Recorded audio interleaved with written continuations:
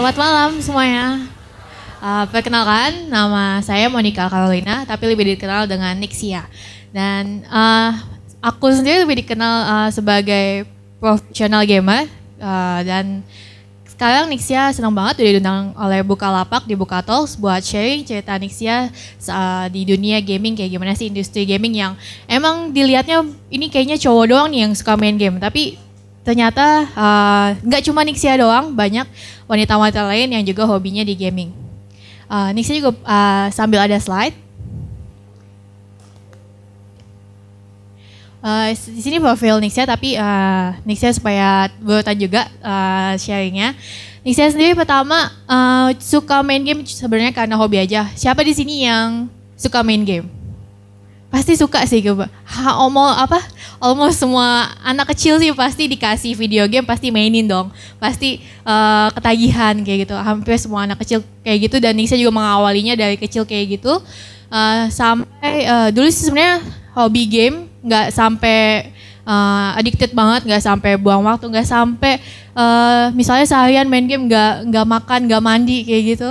Uh, Nisa lebih Uh, kalau dulu waktu sekolah main gamenya kebanyakan di weekend atau lagi libur semester.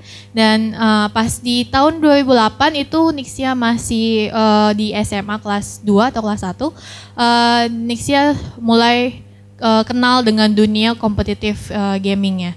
Karena Nixia datang ke sebuah kayak warnet gitu, di sana Nixia ketemu teman-teman yang suka ikut turnamen, jadinya Nixia juga suka ikut uh, join turnamen dan memang sih waktu awal-awal 2008 2009 itu belum juara dulu gamenya adalah jenis FPS atau tembak-tembakan. Ada yang tahu uh, game uh, Counter Strike mungkin? Ya, kebanyakan pasti tahu. Dan uh, dan berikutnya selain main game juga sebenarnya selain ikut kompetisi awalnya Nixia lebih suka lebih tertarik ke dunia IT sendiri karena Nixia sering banget ngikutin update tentang IT ataupun hardware komputer terbaru dulu Nixia seneng banget karena emang dulu punya mimpi pengen punya komputer super canggih, pengen punya konsol gaming terbaru kayak gitu. Tapi emang uh, apa ya? Dulu tuh nggak bisa seenaknya minta sama orang tua pengen komputer terbaru yang canggih gitu.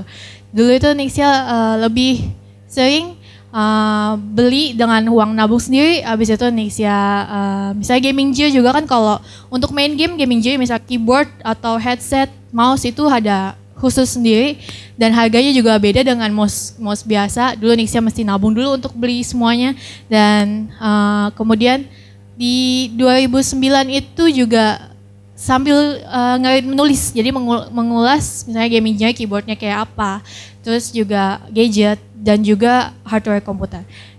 Lalu di 2009, eh, oke, okay, profesional gamer sendiri Nixia buat timnya di 2011 dengan tim NXIDs nanti dibahas lagi. Di 2009 ini uh, merupakan uh, awal uh, dikenalnya bukan gimana awal ke akhir Nixia dia kompetitif. Memang sebelumnya suka ikut turnamen, tapi di sini ada satu game yang Nixia join turnamennya tuh individual, nggak sama tim. Ini gamenya Guitar Hero. Dan Guitar Hero ini main gamenya di konsol seperti Xbox atau PS. Dan uh, beberapa ini dari 2009 sampai 2010 emang sih game Guitar Hero sendiri sekarang udah nggak ngetren lagi uh, karena ngetrennya di 2009 sampai 2011 dulu dan Nixia bisa juara antara juara satu dan juara dua waktu itu sampai beberapa kali dan karena banyaknya juara Guitar Hero ini Nixia banyak diliput oleh berbagai media di tahun itu. Dan sebenarnya setelah itu juga uh, setelah uh, juara individual ini Nixia juga ada achievement lain yang Nixia dapetin setelah 2009 ada yang Nixia sendiri, dan juga ada yang dengan tim NX Ladies. Dan setelah itu Nixia setelah Guitar Hero udah nggak zamannya lagi, Nixia baru uh, rajin ikut turnamennya di game-game FPS seperti Counter Strike, uh, terus banyak sih judul-judul games uh, Counter Strike Global Offensive, Call of Duty, Battlefield kayak gitu. Uh, dan itu timnya kadang join sama tim yang cowok-cowok dan kadang juga mulai 2011 Nexia bikin tim sendiri isinya wanita semua. Dan ini ada foto-foto uh, aktivitas Nixia dulu. Ini waktu tadi juara pertama kali juara Guitar Hero di 2009 dan ini ketemu fatality. Uh, next. Ini juga waktu juara game. Ini juga waktu juara. Dan ini salah satunya ini juara Counter Strike Global Offensive. Kebetulan lagi di invite oleh salah satu sponsor Nixia ke Taiwan di headquarternya. Dan Nixia di sini seneng banget. Ini salah satu achievement yang berkesan walaupun bukan jenis turnamen yang liga besar tapi cuma exhibition aja waktu di Taiwan. Tapi juara satu dan bikin tim dadakan dan hadiahnya adalah laptop gaming yang seharga 5000 dolar waktu tahun 2013. Nah, kasih. Dan dari situlah Nixia mulai menyadari kalau dari hobi Nixia main game ini banyak banget mengubah hidup Nixia mulai dari liput media, diundang sponsor dan banyak juga dikasih kesempatan untuk uh, nyobain ya, hardware-hardware komputer terbaru, gaming terbaru. Dan ini boleh dilihat ini uh, kamar gaming Nixia. Uh, dan di semua uh, misalnya komputernya emang udah yang terbaru, uh, terus juga uh, lengkap dengan konsol PlayStation dan Xbox dan juga itu semuanya buat fasilitas buat melengkapi Nixia aktivitas Nixia saat main game di rumah. Dan Nixia uh, kenalin lagi tadi ini Fatality yang tadi ada fotonya juga. Dia adalah uh, role model Nixia yang bikin Nixia terinspirasi buat bikin website nixiagamer.com. Jadi awalnya nggak sebagai gaming team dulu, Nixia bikin uh, website dulu nixiagamer.com awalnya hanya untuk asip tulisan-tulisan review Nixia di, uh, tentang gaming dan juga hardware komputer. Karena Nixia ketemu dia waktu dia datang, ini Fatality ada Fatality ini adalah juara dunia, legend banget. Sering juara di game jenis FPS juga, judul gamenya adalah Quake. Nah, kalau dia ini emang uh, angkatannya angkatan lam, angkatan 80-an mungkin Fatality ini dan akhirnya karena dia udah sukses juga di dunia industri gaming dan IT, ya Nixia terinspirasi dari dia sampai akhirnya membuat uh, website nixiagamer.com dan juga gaming team NXA Ladies. Dan ini waktu foto sebelah kanan waktu ketemu lagi di 2013. Jadi pertama ketemu 2011, kemudian 2013 ketemu lagi Uh, dan Nixia udah minta izin sama dia kalau website nixiagamer.com itu terinspirasi dari dia dan dia seneng banget bisa jadi role model Nixia di sini. Apa sih website nixiagamer.com itu ya tadi Nixia udah udah jelasin juga semua barang-barang IT ataupun uh, gaming gear itu Nixia tulis dan memang semua adalah modal sendiri. Nixia juga dulu lulus SMA langsung uh, masuk ke kantor, kantoran, kerja kantoran di dunia gaming juga. Uh, lalu selain website juga ada channel YouTube, isinya video review. Lalu uh, kalau dulu ini gaming aja kayak gini misalnya ada uh, motherboard, ada VGA, ada laptop.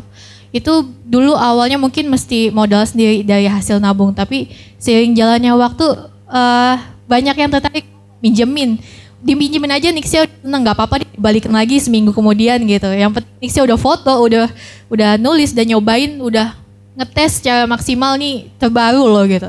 Sampai akhirnya sekarang tuh bisa dihak milik itu kebanggaan banget dipercaya buat milikin uh, produk hardware. Mungkin kalau dengan gaji sendiri ya bisa belilah gampang, tapi kalau dikasih gratisan tuh rasanya beda banget ya. Karena emang hobi dan uh, passion Nixia tuh ke lebih ke dunia IT sama game ini tentang NXA Gaming. Waktu dulu sih awalnya 2011 sebenarnya cuma komunitas sampai akhirnya Nixia bikin tim isinya wanita semua. Dan ini uh, tim Nixia di tahun NXA Ladies di tahun 2016 waktu itu ya tiga divisi. Jadi nggak cuma game uh, eh, FPS atau CS aja. Jadi waktu 2016 itu kita ada tiga divisi, tiga game berbeda. Yang pertama CSGO atau Overwatch satu tim. Kemudian juga ada tim Dota 2 dan juga tim uh, League of Legends. Tapi sekarang ini cuma tersisa uh, Nixia lanjutin di tim Overwatch sama di Dotanya aja. Waktu ini kalau lagi turnamen dan uh, Nixia juga bikin NX Series ini beda dengan tim gaming kebanyakan di Indonesia yang biasanya cuma fokus satu game aja. Waktu Nixia bikin di 2011 itu semua game FPS tembak-tembakan itu Nixia ikutin turnamennya dan tadi sih bisa dilihat di awal tuh ada achievement uh, di tim NX Ladies juga nggak cuma di satu game aja. Lalu, nah uh, Nixia juga bikin tim NX Ladies uh, karena pengen ingin pengen memfasilitasi para wanita-wanita yang hobinya main game yang merasa punya skill di dunia game tapi kayak malu buat ikut turnamen. Uh, kalau enggak malu karena uh, kalau mau join tim cowok tuh suka di underestimate ah uh, kurang kurang seimbang lah skillnya atau gimana. Jadi Nixia membuka kesempatan buat wanita-wanita yang suka main game buat join ke tim NX Ladies tadi. Lalu uh, dan sampai akhirnya tim NX Ladies ini uh, Nixia yang manage, Nixia yang uh, mendirikan dan semua Nixia fasilitasi uh, dengan gaming gear terbaru dan juga uh, Nixia gaji per bulannya. Saat Nixia masuk ke media, medianya baik media cetak maupun media macam-macam. Jadi uh, Nixia, sebenarnya impian Nixia juga pengen pengen banget memasyarakat, memasyarakatkan industri uh, gaming ke masyarakat luas di Indonesia uh, dan senang banget akhirnya bisa diliput banyak media dan akhirnya semakin banyak uh, orang tua yang mungkin tadinya masih uh, underestimasi masih menganggap negatif dunia game dari Nixia dan uh, Nixia bisa sharing di media-media ini apa sih yang Nixia dapetin dari uh, main game atau jadi profesional gamer. Ini sih uh, liputannya aja. Dan uh, ini waktu di liputannya daftar list-list di Liput TV atau talk dan ini untuk sosial media Nixia bisa dicari di Facebook di eh, Nixia Gamer dan Instagram juga di Nixia. Dan ini juga uh, ada sponsor juga. Ini sejak 2013 uh, Nixia bangga banget bisa disponsori tiga brand IT. Uh, jadi salah satu salah satu tim gaming itu salah satu impiannya adalah pengen disponsorin oleh brand uh, gaming atau IT dan uh, tim Nixia senang banget udah bisa mencapai hal itu. Dan Nixia juga pengen sharing juga kalau misalnya di dunia gaming nggak melulu cuma jadi atlet game, nggak nggak melulu cuma jadi profesional gamer, tapi ini ada misalnya bisa jadi shortcaster, bisa jadi youtuber uh, di dengan gameplay kita, terus juga bisa jadi game reviewer, atau mungkin jadi media yang memang Nixia juga awalnya sebagai media, jadi bisa ikut meliput acara-acara event gaming dan IT, kemudian juga uh, reviewer dan Nixia mau sharing uh, yang udah Nixia dapetin sebagai professional gamer uh, di sini. Jadi Nixia sendiri nggak professional gamer, cuma main game, nggak cuma latihan, nggak uh, cuma latihan dengan tim, tapi sebagai reviewer juga yang tadi Nixia sebutin. Uh, tentunya ada penghasilan dari sponsor, kemudian di support produk gaming gear dan hardware terbaru dan paling bangga lagi diundang ke event-event uh, internasional gaming atau IT dan mungkin kalau misalnya ke luar negeri ke acara uh, Computex yang uh, isinya IT atau komputer semua bisa lah uh, kalau dengan uang sendiri. Atau mau liburan ke luar negeri gampang. Tapi di sini Indonesia bangga ya karena hobi main game di invite ke acara IT dan acara gaming di luar negeri. Juga uh, kalau menang bisa dapat hadiah dari turnamen dan juga bisa uh, bertemu dengan uh, orang-orang baru, konek, koneksi baru dan juga dengan vendor mungkin uh, vendor-vendor brand IT di luar waktu keluar di acara-acara seperti itu. Dan Nixie juga mau share tentang uh, gimana sih uh, partisipasi wanita di dunia teknologi. Ya emang banyak banget uh, yang bilang ini eh, nggak uh, cocok lah buat wanita atau gimana uh, banyak direndahkan mungkin skillnya dianggap kurang sama cowok tapi kalau kamu nggak punya skill jangan malu untuk ditunjukkan karena uh, sekarang zamannya udah udah canggih banget uh, semua nggak cuma cowok aja yang bisa teknologi tapi cewek juga harus bisa dan nggak uh, cuma uh, ngandelin cowok jadinya dan semoga ya wanita nggak nggak maksudnya jangan putus asa kalau misalnya nggak dianggap nggak ada apa-apanya sama cowok. Terus untuk harapan dan cita-citanya uh, di Indonesia sendiri uh, tentang uh, game dan teknologi udah banyak didukung, uh, banyak banget event ataupun banyak banget didukung pemerintah juga kalau di dunia gamingnya. Jadi buat kalian yang uh, tertarik di dunia game dan teknologi, uh, jangan apa ya uh, langsung aja misalnya kalau misalnya suka game ya bisa jalanin terus hobi kalian dan untuk suka teknologi ya mungkin bisa uh, bisa apply mungkin misalnya apply ke perusahaan-perusahaan di dunia teknologi juga. Oke, mungkin uh, sekian dari Nixia. Kali ini kan Mbak Nixia jago main game ya. Enggak, enggak. Enggak afdol kalau di sini enggak main game. Nah, kita tantang main game mau main apa Mbak? Uh, kebetulan Nixia lagi kom- lagi fokus di game Overwatch buat kompetisi, jadi kita mau main Overwatch. Boleh.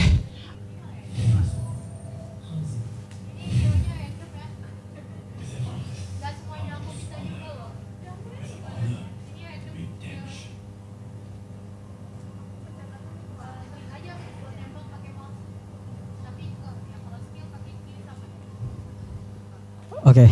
Game ini Overwatch ini unik ya karena dia setiap yang dimainkan hero-nya berbeda-beda kayak sekarang yang digunakan ini satu lawan satunya hero-nya Hanzo dia menggunakan uh, panah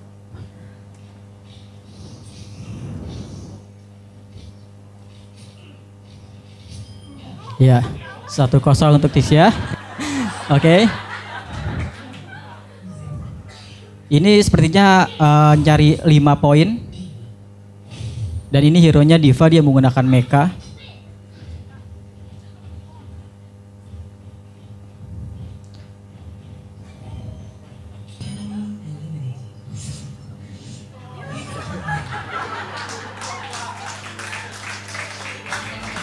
Oke, boleh tepuk tangan sekali lagi Mbak Nixia. Terima kasih untuk Mbak Nixia. Buka aja buka lapak